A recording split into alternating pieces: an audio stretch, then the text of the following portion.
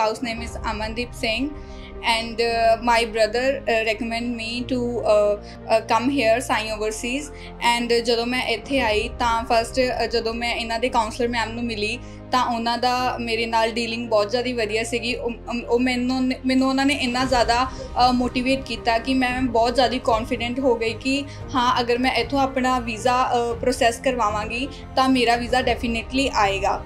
Because ਮੇਰਾ 2 3 2 ਸਾਲ ਦਾ gap ਸੀਗਾ ਮੇਰੀ ਸਟੱਡੀ ਦੇ ਵਿੱਚ ਬਟ ਮੈਮ ਨੇ ਕੋਈ ਵੀ ਵਰਕ ਐਕਸਪੀਰੀਅੰਸ ਵਗੈਰਾ ਕੁਝ ਵੀ ਐਕਸਟਰਾ ਫੀ ਕੁਝ ਨਹੀਂ ਲਿੱਤਾ ਹੈਗਾ। ਐਂਡ ਉਹਨਾਂ ਨੇ ਕਿਹਾ ਕਿ ਤੁਸੀਂ ਕੋਈ ਵਰੀ ਨਾ ਕਰੋ ਤੁਹਾਡਾ ਵੀਜ਼ਾ ਆਏਗਾ ਗਾਰੰਟੀਡ ਹੈ। ਐਂਡ ਫਿਰ uh, within after cash letter uh, within uh, 5 days i'm getting my visa and uh, ਜੋ ਵੀ ਸਪਾਊਸ ਸਾਡੇ ਵਾਂਗੂ ਯੂਕੇ ਦਾ ਵੀਜ਼ਾ ਲੈਣਾ ਚਾਹੁੰਦੇ ਆ ਉਹ ਪਲੀਜ਼ ਇੱਥੇ ਆਉਣ ਤੇ ਆਪਣਾ ਵੀਜ਼ਾ ਅਪਲਾਈ ਕਰਨ ਸਾਈ ਓਵਰਸੀਜ਼ Thank you.